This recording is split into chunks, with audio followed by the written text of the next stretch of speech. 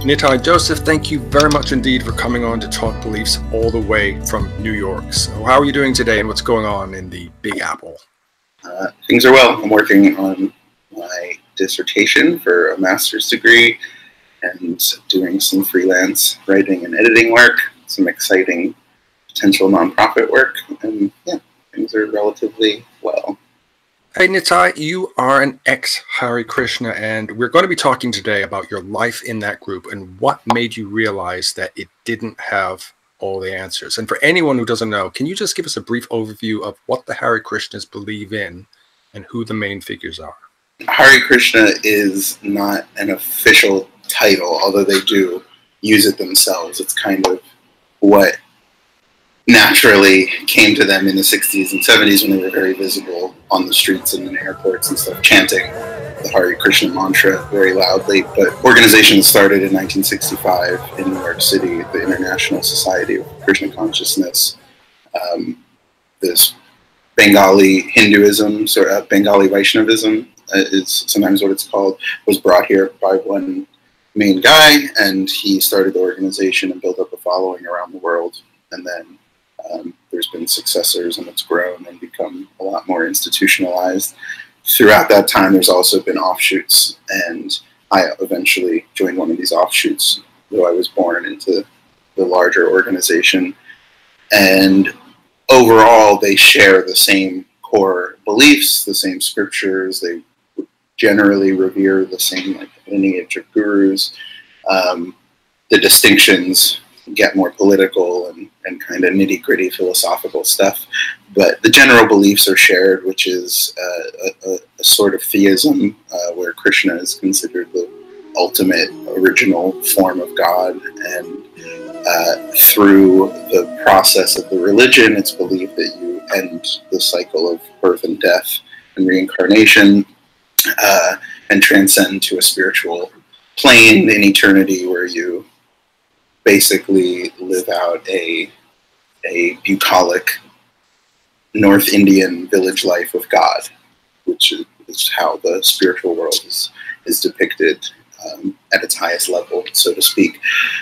And uh, prior to learning all of that and, and, and realizing that, that you're aspiring to turn into a village person in a spiritual plane, the, the preaching is more about how the material world is full of suffering and uh, desire leads to suffering inevitably. So even things that we think are pleasurable are actually just pain waiting to happen. And this is the, the first steps of the kind of redefinition process that that all coercive abuse uses to turn pain and, and harm into love uh, and, and like kind of flip flip reality in that sense. Uh, so naturally, if someone has suffered a lot or or is empathetic with the suffering in the world, there's a lot of sense in this observation that like even things that make us happy end. The, the, everything is temporary. So their idea is the only real happiness can be in an eternal form by ending birth and death. Um, the it, it gets more complicated once you learn that, that the methodology for that is not just the chanting, but it's also having a guru, finding a person, submit yourself oh, yes. to, who can guide you through this multiple lifetimes process ultimately. Um, and once you you get kind of formalized ideologically rooted authoritarian structures, it's just very ripe and, in my opinion, inevitable that things will go sour. Even though you grew up in the Hare Krishnas, you weren't particularly devout. And at 18, you joined an offshoot of the Krishnas, as you said. So, why did you join this offshoot, and what was it like living that life? I was fortunate among a lot of Hare Krishnas uh, to not be raised super strictly. I never went to the boarding schools, which they used to have a lot more of. There was a lot of child abuse that went on in them. Still, still does. I want to say, uh, especially in India. But I was raised in the suburbs, a more kind of laid back life. My mother was a full believer, but really struggled with her own involvement and the stringent rules and the the um, really the psychological harm that one endures in decades in that kind of institution, especially as a woman. So um, I wasn't raised super heavily indoctrinated, but it's the backdrop of, of your whole life at the same time. Um, my legal name from birth has been a Hare Krishna name. Uh, we were vegetarian. Like we were different than my friends. That was clear. But uh, it wasn't until I was like 17, 18 that I really got serious. A few years prior, my, my brother had gotten really devout, my older brother, and he preached to me in some ways that were very compelling. I couldn't defeat him as a 14, 15 year old arguing philosophy. And so it kind of planted in my head that, like, this is ultimately what I should do with my life when I'm ready. Uh, but at the same time, from a from a normal kind of societal perspective, like I was living in a very dysfunctional childhood. I was the kind of person who joins a group in their young adulthood, even if they weren't born into one. You know, my, my mother was very sick, uh, both physically with cancer and things like that, and I I dropped out of school in eighth grade and started working full time, and I smoked pot and hung out with older people, and it was a you know, at the time it was just normal. It was what my life was. But in hindsight, I recognize looking at teenagers that this wasn't the standard experience. So all that said, um, you know, adolescent and adult life started coming at me, and in hindsight, I can see I wasn't prepared for that in different ways. I, like dating and romance were really intimidating to me. And I had a close friend commit suicide, and that really shifted things at a certain point for me. Like, I should get serious about all this spiritual stuff. Like, I'm, I'm beating around the bush, wasting my time entertaining other ideas. And so I took a more serious dive, and in my milieu was uh, the recorded lectures of the, the guy who I would eventually join his offshoot. He had been in the main Hare Krishna organization until the 80s and then started his own thing, lots of politics, etc. Would you would you call him a guru? Oh yeah, he, he, yeah, he was my guru eventually. Like I formally became his disciple and oh. was his assistant and, and, we'll get to all that in more detail, I'm sure. Uh, but his lectures were around like my, my, my mother and some of her friends had started listening to him. He had some novel in that scene perspectives. He was more liberal. He preached in kind of newer intellectual ways, and and and it was attractive to people who uh, had struggled to fit into this really conservative religious environment for decades. So here was someone explaining things in a little more contemporary and generous way. So his CDs were kind of floating around. This was on the East Coast where I lived. And so I was listening to him while participating with the other organization, and slowly, for whatever various reasons, his kind of preaching was the most attractive to me. I was active on a forum of his disciples, and uh, eventually he invited. Basically, I found a controversy about him on the internet, and it really distressed me. Him and another and another guru, basically, who don't like each other. And and when I brought that up, he kind of made his move and invited me to come live there and stay stay at his monastery, as we called it, in in the woods of Northern California, off um, off grid, using solar power and milking cows and and so on. So I weighed that for about a month, and, and I eventually did. I, I moved there at 18, not sure that I was going to be his disciple or if I was going to stay there for good. I had some skepticism, but uh, yeah, I did become his disciple. so somewhere along the line, you began to have doubts. So can you talk about that? Was it one particular thing or a series of things that made your faith in the leader crumble? I I became once I moved in at 18. I was heavily involved for uh, almost seven years, like heavily involved. Part of the leadership, eventually the leader's assistant, privy to all the finances, and, you know, emails and everything.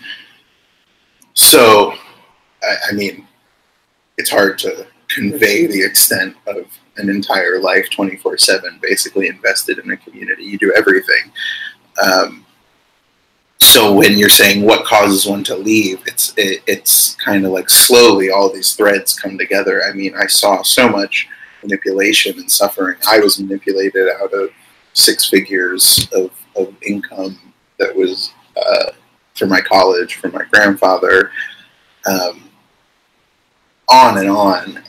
But it wasn't for for some years that that be, started becoming apparent to me, and, and occasionally I was really just unhappy, and I, I like couldn't identify the source of why my life was so um, like distressing and hopeless, kind of. But but it was certainly like that, and and my role in the group felt like a job, even though I was paying into it, not getting paid in any way, shape, or form.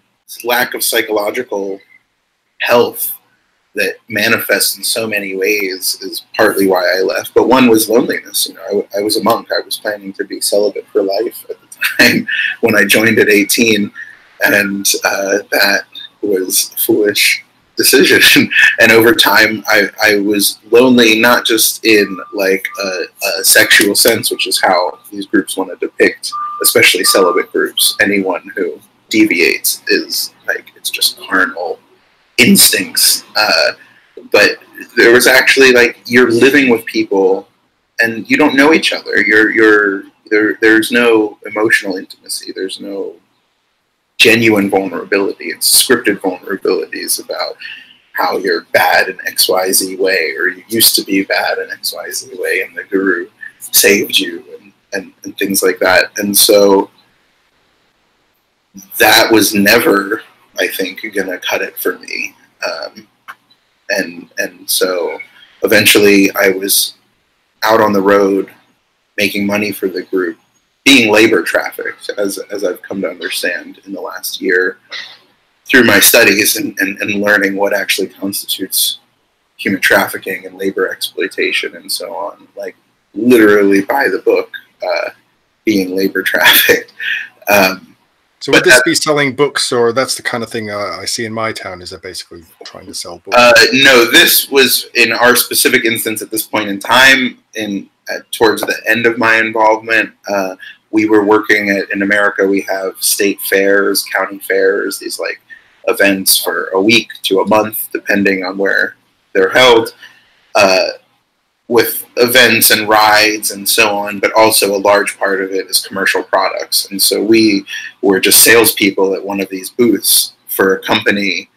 Uh, but the reason is, I mean, this is the kind of industry transient people work in. You you bust your butt every day for like six months of the year, make cash, uh, live in shitty hotels, kind of traveling around around the country, and then you don't work the other six months, and there's no there's no like education required. So it's the kind of industry that people in a cultic setting will naturally find themselves in when there's a need for money, as as are illegal industries, and um, you know there's a, f- a fair bit of marijuana industry involvement among some Hare Krishnas because, especially second generation, they're raised to not exist in society, to not have skills, to not even aspire to an education or, or so on. Yeah, so towards the end, I was being, I was, I was basically uh, experiencing labor exploitation, and at the same time, that did give me a bit of freedom, uh, interacting with people outside of the group more frequently, and so on, and and like secretly started dating, like living this double life, which was really difficult for me. I had a lot of shame about it because I'm a prominent monk in this in this organization at the time. Um, so eventually, that's what caused me to leave monasticism and and that degree of involvement in the group. But to justify that departure, I started a business expressly for the purpose of making money for the group and hoping to grow to where I could employ other group members. I basically was like, I'm not going to be a monk anymore, but my whole life is still primarily dedicated to the cause. And I moved out of the monastery and whatnot. It wasn't until a year later that I lost faith in the, in the whole thing. And it was largely the realization that the problems in the group, which were discussed and which I was passionate about, eh, making us healthier, uh, like a, a healthier functioning institution, the problems were by design. They weren't actually like an accident. They they were the direct result of the leader's actual motives uh, and character, and that realization was basically the shift from okay, some things are unhealthy here, but we all want to reform it. We all have the same goal.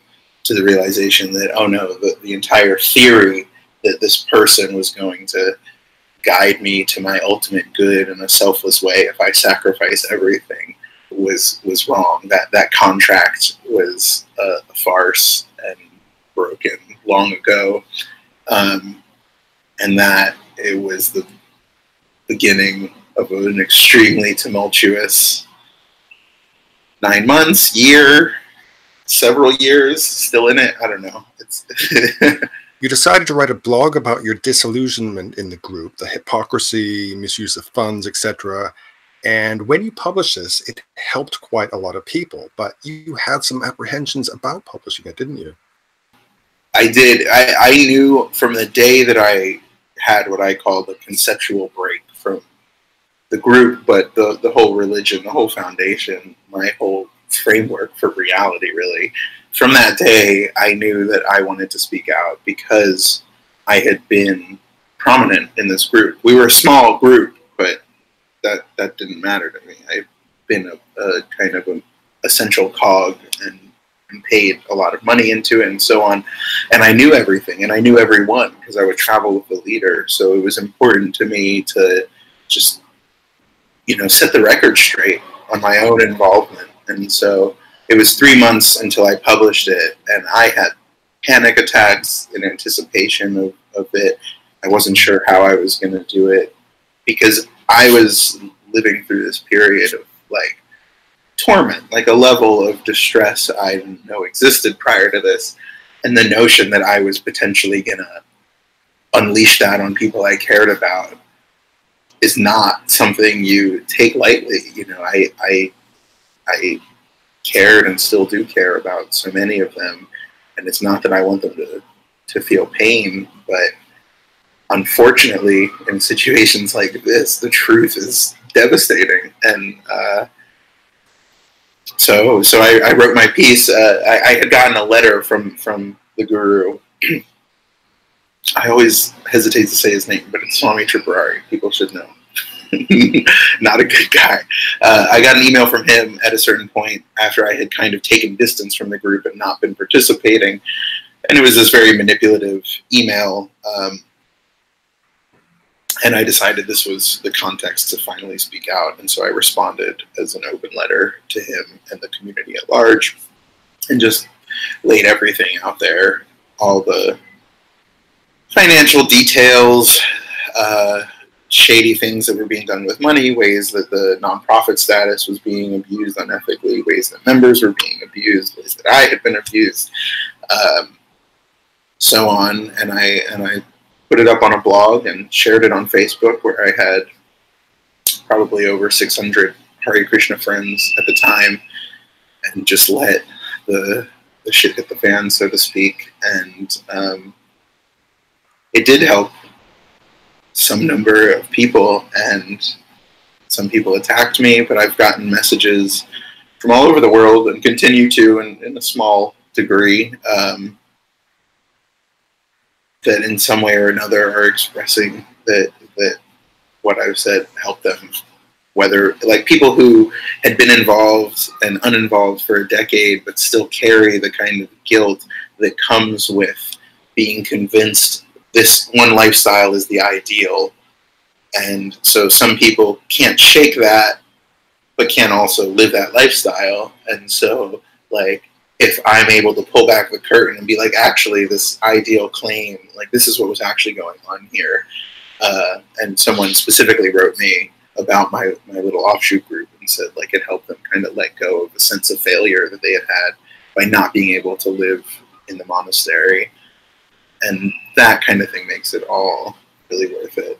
And I've continued to speak about these issues in different contexts, and I continue to get a small trickle of people reaching out to me. And I don't have a strong agenda except like, yeah, if someone is trying to sort out the way their mind's been twisted and contorted for years or decades, I'm happy to be a sounding board and, you know.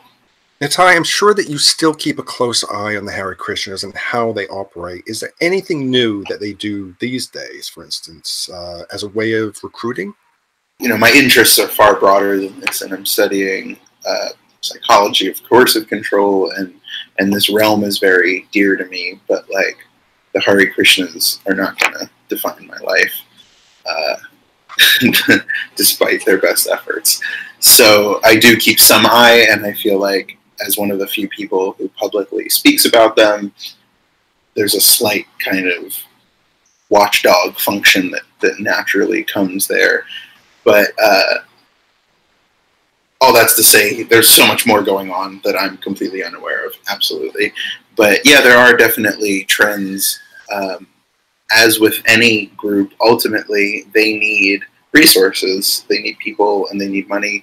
So a lot of groups, despite wanting to depict themselves as kind of absolute and unaffected by circumstances, they just they just have the truth, take it or leave it.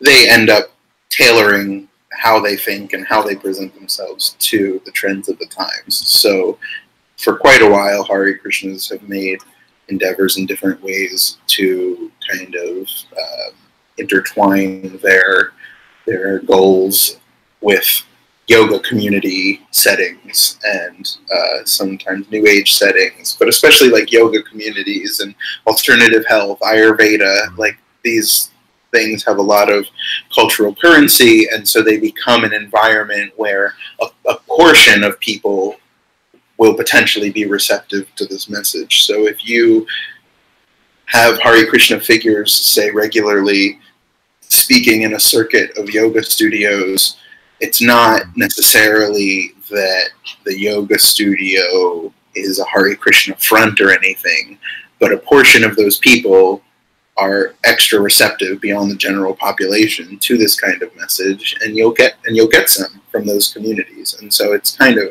i mean i consider it opportunism. It's like wherever there's potential go go for it. Um, so i would say that's one of the biggest ways.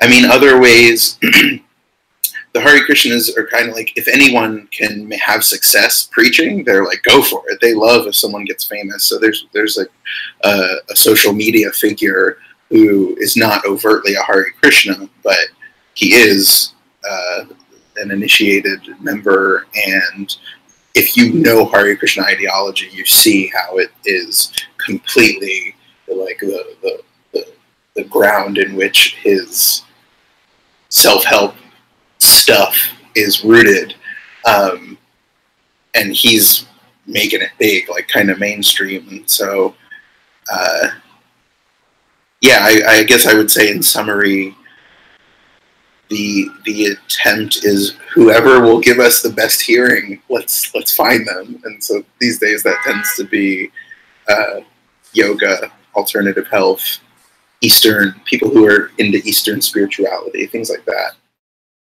Uh, I'll leave links to your blog and social media in the description below. But before we go, if anyone who is watching this is perhaps considering joining the Hare Krishnas or any similar group, what advice would you give to them right now?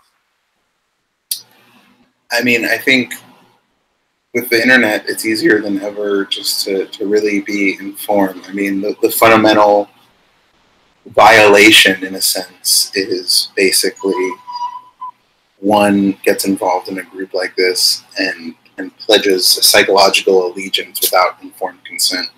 And uh, unfortunately, for, for various reasons, the way it seems to work is once we're invested to a certain degree, disconfirming or challenging evidence or uh, behaviors don't hold the weight that they that they ought to or that they would have early on. So I think it's important in general with what people get involved with now because there's abusive businesses, there's all sorts of things early on to do the research because that is when we have the clearest mind about it, frankly. Uh, just like if we learn early on in a, in a courtship or a dating scenario that, that, that someone has a murder record, you know, that, that'll inform us, but it might be kind of harder to react appropriately if, if it's five years later and we're in love, or if it's five weeks later and we're infatuated. Uh, so, and a, a group which uh, says it's going to change your life, it's much more better to uh, research something like that, isn't it? yeah, yeah, yeah, exactly. Um, so, I, I mean, I, I think that's the fundamental, and just really stay in touch with like what are your values, the, the values that you joined for, that you felt were embodied by this organization a year later, two years later, is that really what your life is consisting of? Helping people or growing internally or or whatever. Like really kind of taking stock of the, the promises and and the, and what's delivered. Okay, right. I think that's really powerful, really excellent. Thank you so much for uh, for speaking out. But uh, before we sign off, uh, where would you say, Nitai, that you are in your life right now, and what are you working towards? I'm, I'm pretty excited these days. I, as I mentioned, I'm completing a very unique degree uh, that was developed recently in the UK, master's in the psychology of coercive control. So we basically look at these subjects across contexts, be that gangs, terrorist groups, religious cults. Uh, intimate partner violence, human trafficking, as I mentioned, and uh, I'm really excited about that kind of interdisciplinary approach to um, manipulation and, and, harm and trying to prevent and help it. And uh, recently, I'm starting to do a little bit of, of work assisting the Open Minds Foundation and a, new project of theirs called EduCare, which uh, is like a free educational system for people who have left groups. Uh, so on the whole, I, you know, I'm, I'm feeling upbeat about kind of the next phase of my life, a next identity from from just being defined by the group involvement to kind of shifting towards the work that I care about. Excellent. Nitai yeah. Joseph, thank you very much indeed. Thank you.